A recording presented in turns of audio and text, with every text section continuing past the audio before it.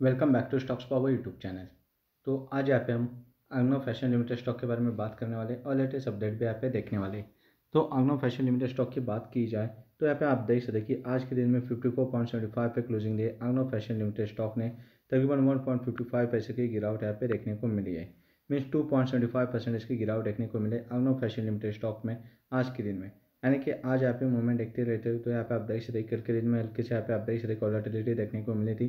फिर आज के दिन में भी वॉलेटिलिटी देखने को मिली। तकरीबन आज फिर से यहाँ पे गिरावट देखने को मिले। तकरीबन फिफ्टी फोर लो का यहाँ पे लेवल का लो बना चुका है अग्नो फ़ैशन लिमिटेड स्टॉक और नीचे जाने के चांसेस यहाँ पे आप देख सकते कि जो सपोर्ट हुआ है मंथली बेसिस का, वो है तकरीबन फिफ्टी टू पॉइंट एटी है। तो वहाँ तक जाने के चांसेस यहाँ पे ओपन है अग्नो फ़ैशन लिमिटेड स्टॉक के लिए।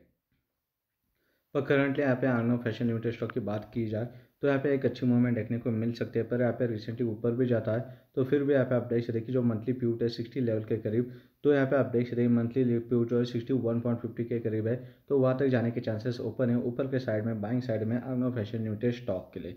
तो करंटली नीचे आता है तो फिफ्टी टू पॉइंट लेवल जो लेवल है, वो वहाँ पे सपोर्ट लग सकता है तो ये दो लेवल के बीच में यहाँ पे आने वाले वीक में मूवमेंट होने के चांसेस ज़्यादा है अग्नो फ़ैशन लिमिटेड स्टॉक के। तो ये थे लेटेस्ट अपडेट अग्नो फ़ैशन स्टॉक के लिए।